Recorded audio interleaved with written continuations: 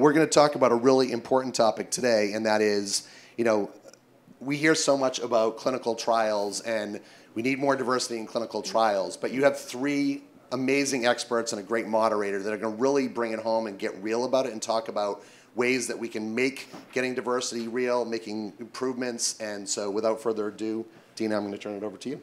Thank you so much, Aaron. It's so great to be here. Is my mic on? We good? Okay, great.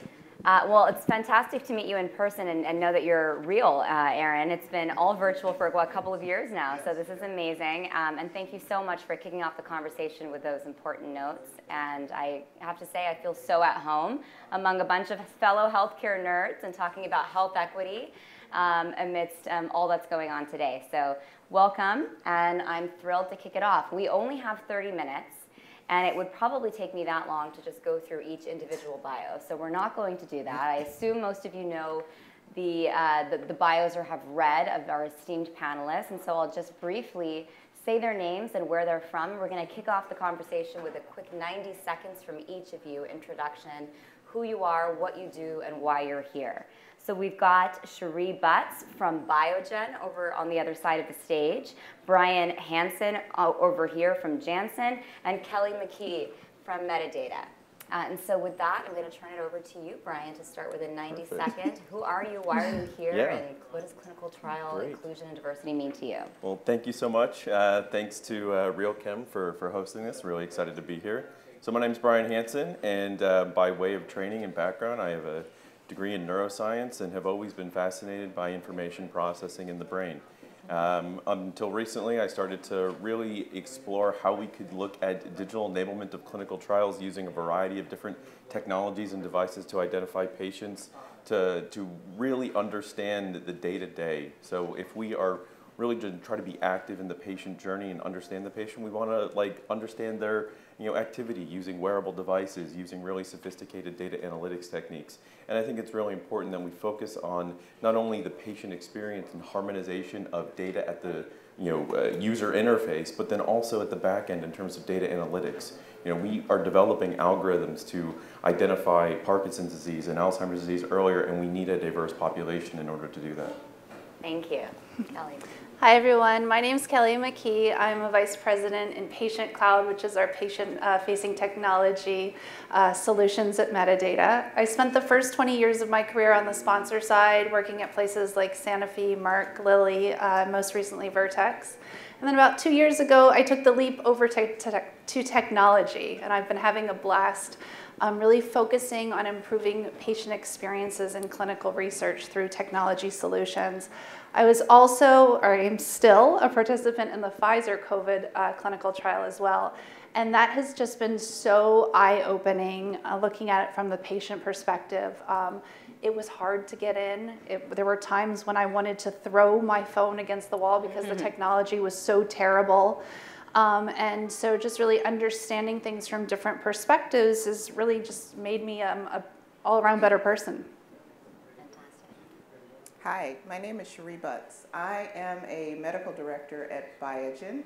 My career has uh, gone through many different paths. I am trained as a neuroimmunologist. My role now is as a clinical trialist, so leading clinical trial activities. Uh, in, the, in the realm of clinical trials, most organizations are talking about the importance of diversity, and um, I've had the pleasure of all of my studies have been very diverse, and we can talk about that you know, why is that a little bit later, but I want to borrow from what Bryan said. It's not just about getting uh, diverse trials where, you know, your trials look like the black eyed peas. It's about the data itself. It's about the analysis and something that we've done with, with at least my trials and we're doing it for all others is once we have enough people who are not from the same background, we're doing subgroup analysis to see is there really differences because there's a lot of comments about, oh, you know, if you're if you're black, then you should add this number, or if you're Latinx, you should you should, should subtract. But if you never had a representative trial, where is that coming from?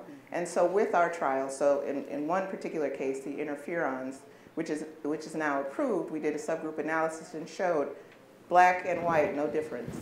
And so we need to be doing that far more often. It's, it's not just getting them in, it's actually using that information. Thank you. Well, uh, to set the stage a little, um, it's funny that Aaron mentioned the comment on the lack of sleep. So if anybody follows me on Twitter, you know that I'm very vocal about uh, diversity and inclusion in venture, on cap tables, and with founders. And frankly, a lot of the arguments toward that are actually somewhat applicable to what we think about in the context of clinical trials. And specifically, it's that D&I, whatever you want to call it, being more inclusive in our research is not about philanthropy. It's not about charity. It's not that it's even good for the world. It's fundamentally better for science. And within the context of what I do for a living, it's fundamentally about the bottom line. You know that mm-hmm. diverse cap tables, diverse founding teams, women and underrepresented founded companies literally perform better. Faster time to exit, more revenue, more profitability. We know in the context of science, in the context of clinical research, you will not get high quality, high fidelity outcomes. You may end up in life threatening situations if you don't have that. But it's shocking that until fairly recently that wasn't a mandate. It wasn't even a consideration. And there's still so many cases in which it's an afterthought. So I want to uh, ask each of the panelists, in the context of the pandemic specifically in the last two years, what tide shift, or has there been a tide shift that you have noticed in the context of the, the specific indications and the companies mm-hmm. that you're working on? And how can we ensure that that's here to stay and not mm-hmm. just lip service? Mm-hmm. It's, a, it's a, great question. I, I think really what the pandemic has showed patients and care partners and, and that society is that we can do trials remotely and we can be successful at it and that means bringing aspects of the clinical uh, brick and mortar site to the patient. That means through you know connected devices, through the use of technology, through uh, some really innovative you know passive sensing behavior and, and remote monitoring. You know, patients don't want to have to come into a site. They don't want to get sick. They don't want to have to have to drive you know the distance. You know, it's it's very clear that one of the biggest exclusion criteria from a trial is distance to the site. So why would we continue to put that pressure on a caregiver and, and the patient to have to drive in for, for these tests that we know that we can successfully do at home. Absolutely. Sure. Yeah. Yeah, Kelly? Yeah, so we've seen a dramatic increase in the number of trials that include at least one aspect of decentralization.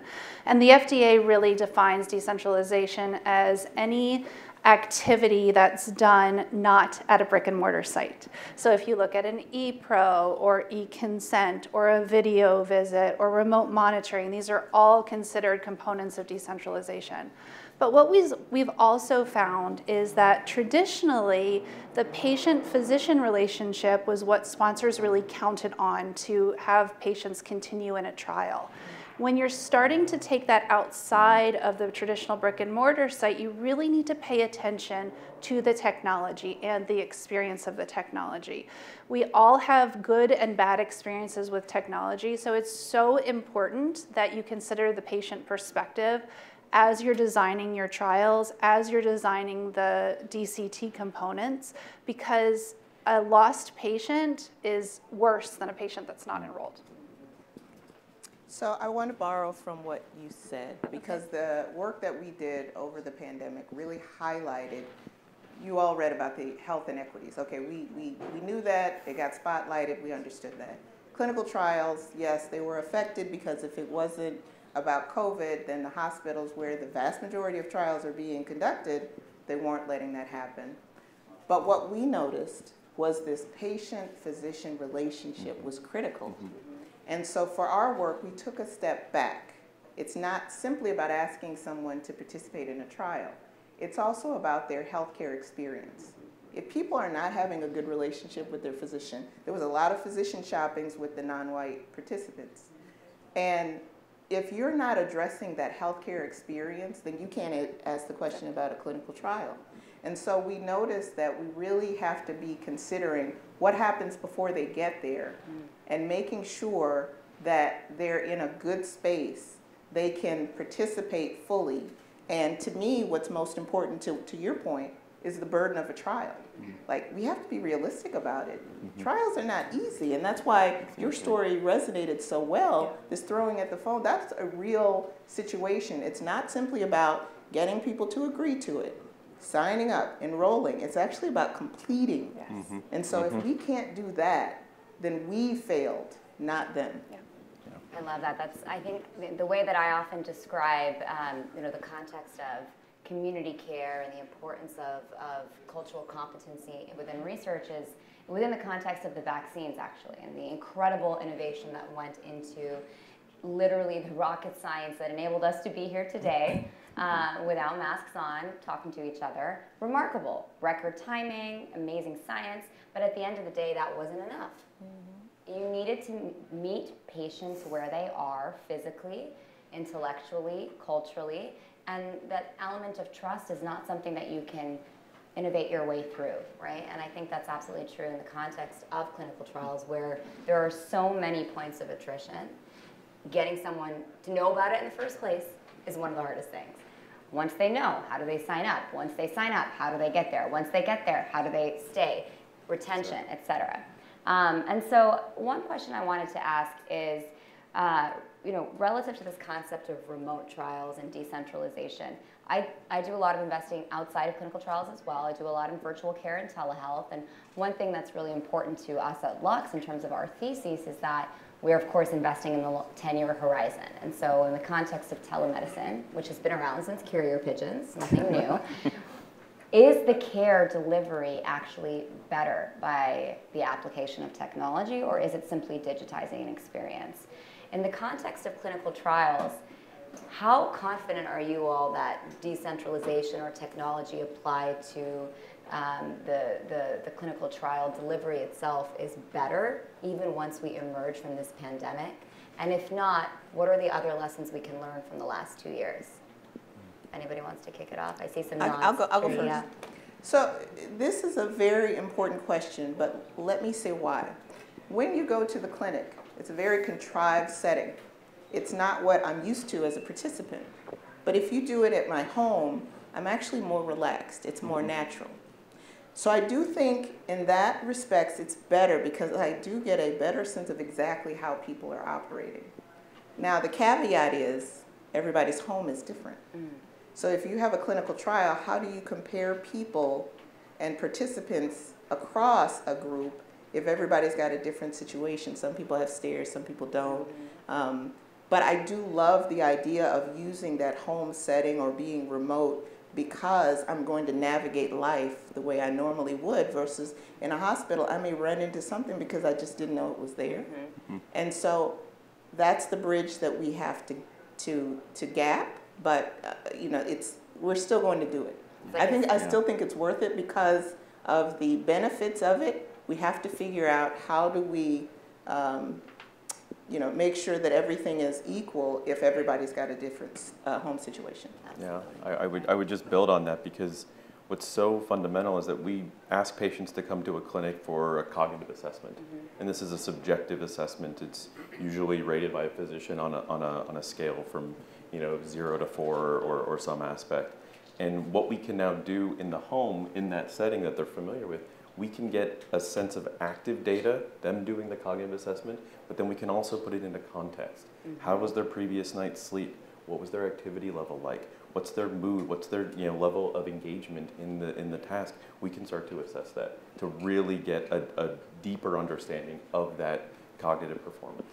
Well, that's a great segue into a question I have for you, Kelly. Oh, okay. You're both wearing Oura rings. Oura rings. Yep. I don't know if we've got any other Oura wearers around here or Apple Watches.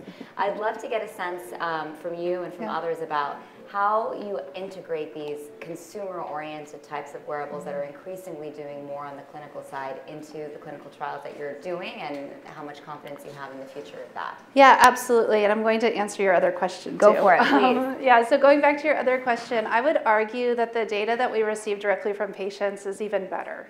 So think about uh, patient reported outcomes. Back in the old days, it was you were filling out the paper diary in your car when you were waiting to go into the hospital or into your doctor's office. And who remembers, you know, what you ate three days ago or, you know, how you slept? Talking about sensors, sometimes I wake up and I'm like, I had a terrible night's sleep, but my ring says it was great. Yeah. So like, where's that dichotomy, mm-hmm.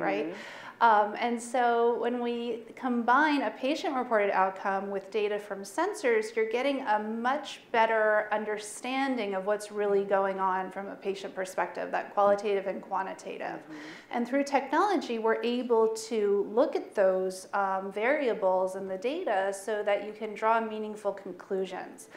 And we need to remember that a clinical trial, it's, it's really an it's a question, right? We're answering questions with data. And so sometimes it's hard to parse out the, all of the data to answer that question. So it's really important that when you're combining technologies that you start out by asking the right questions so that you can get that right answer at the end.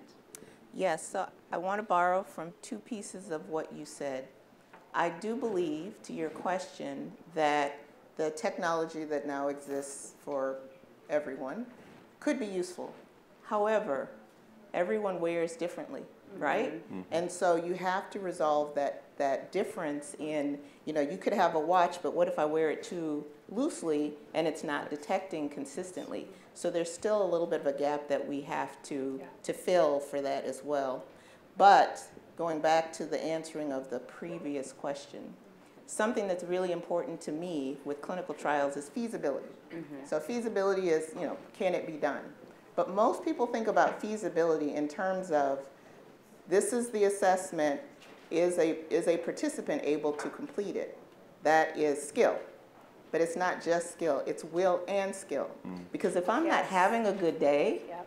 the answers will look like I can't do it. Mm. And so we still need to bridge that gap, which is why the patient reported plus the yes. Mm-hmm. assessments, yep. that's going to tell us yep. the truth. Because I could be having a really bad day and my, my, my sensor is saying I'm, I'm okay, but I can tell you that and then whatever my other metrics are that are being calculated, then I'll know what the truth is. Yep. But the other piece of that is it's catching it more often. Yep. When I go into a clinic, it's once every two weeks. You better hope I'm having a good day mm-hmm. because that's it. yeah. exactly. But if you can catch it along the way, a continuum, then I can tell you, yeah, Thursday was a bad day. You know, I didn't get the bonus or the promotion I wanted. Wednesday was a much better day because I found, you know, the love of my you life. You really did. Yeah. Exactly. so I think that's what that's what it's yeah. going to offer. Us. it's more continuous, more objective information. Exactly. Absolutely. 100%.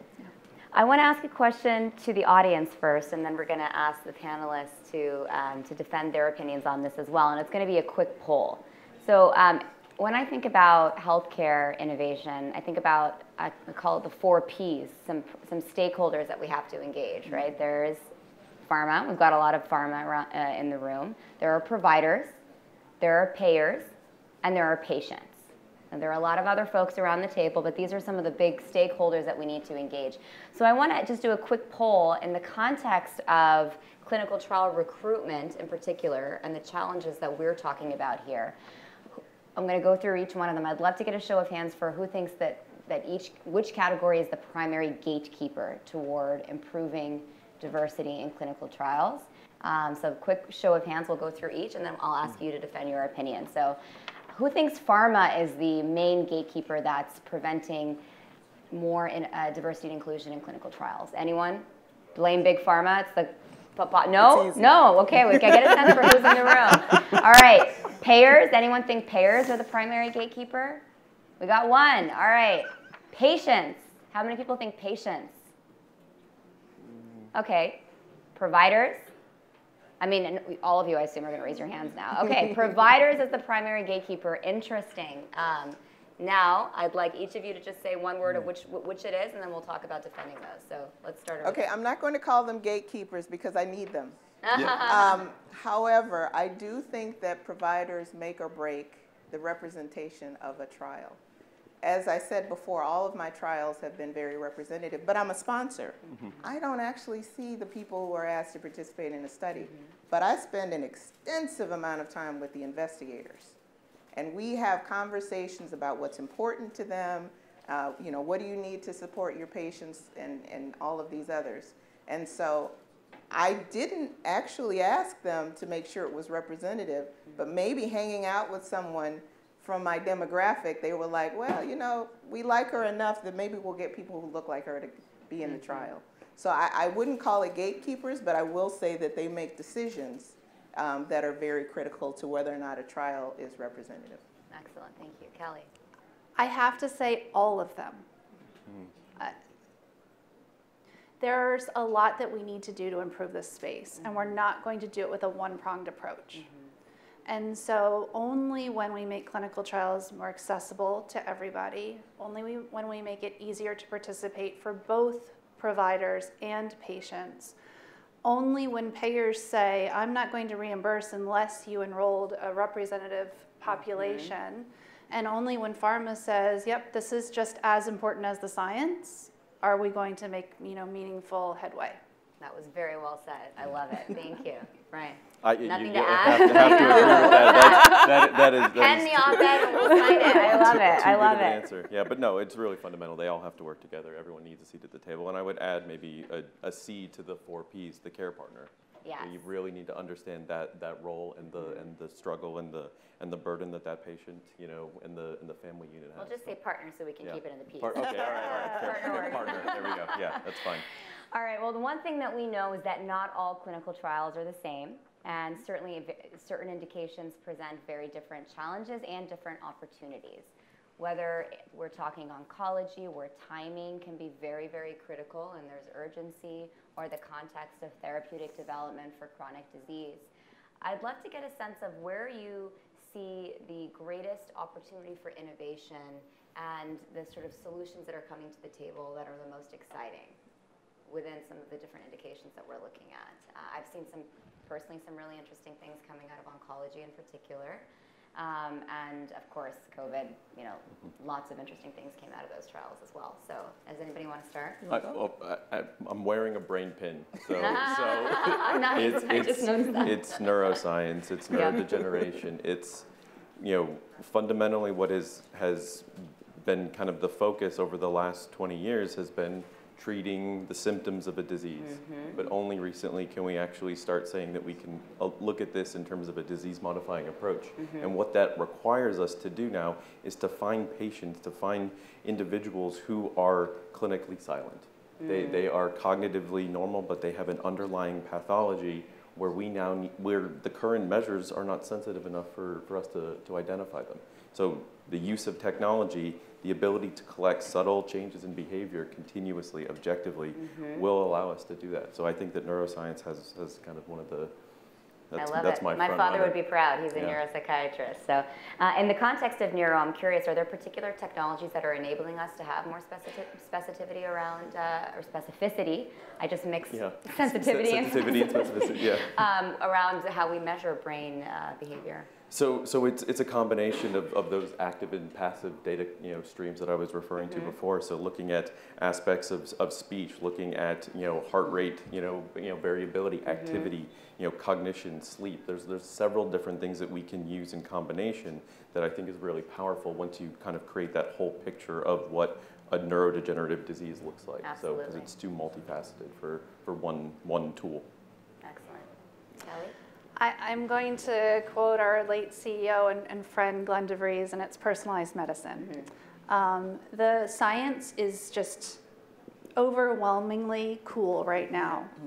but clinical operations is still in the 90s. And so we do need to bridge that gap. So mm-hmm. as we continue to make headway with science, we need to catch up in the way that we're running clinical trials, designing clinical trials, engaging, you know, patients and sites in clinical trials. So we've got a lot of work to do, but the science is still really cool. Awesome. I love that all of us have different answers that are all really good. I know, I may say mine, mine are the favorites, but, um, so I, I will say that I have, I grew up as an immunologist. I learned endocrinology. I am now in neuro and I learned neurology on the way. And one thing that I find is that we're very siloed, unfortunately. So I feel like there are things that I bring from immunology. I'm like, you know, we do this. Mm-hmm. Wouldn't that be useful here? Mm-hmm. And so I would say we call it we call it a neuro disease, but we also call it an immune disease depending on the audience. But MS is a perfect place. Mm-hmm.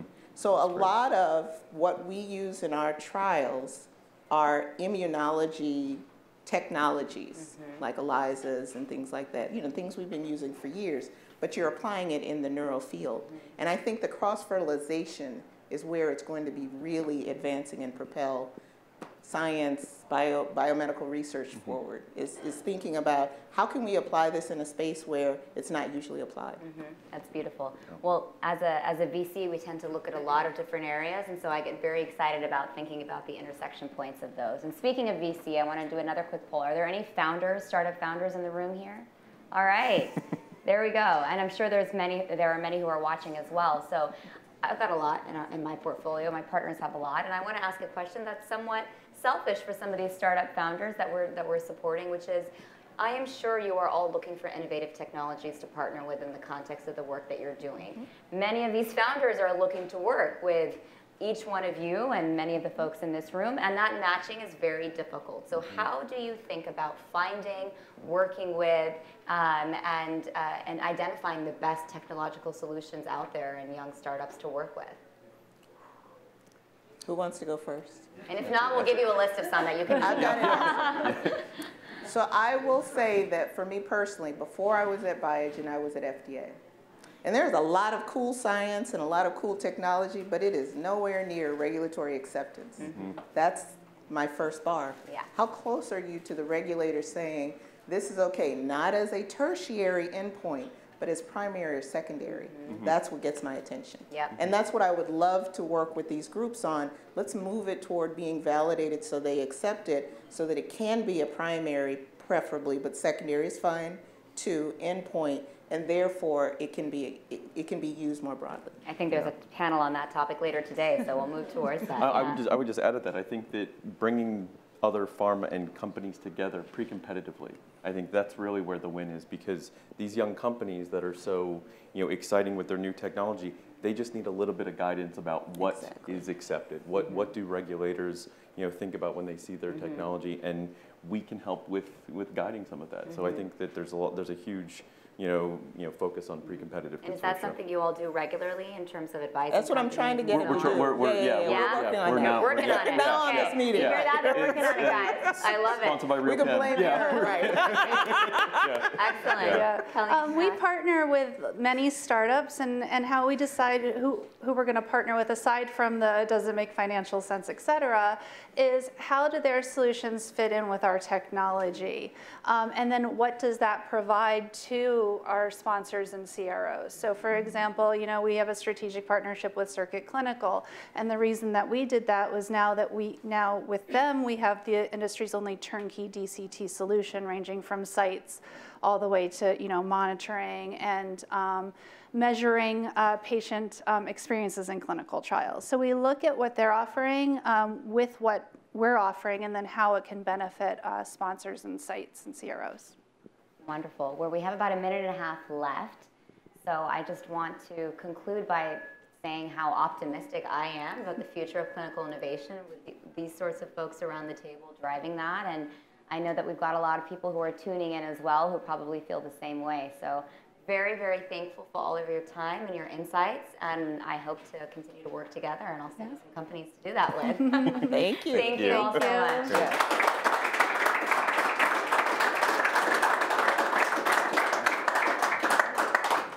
Let's go. Okay.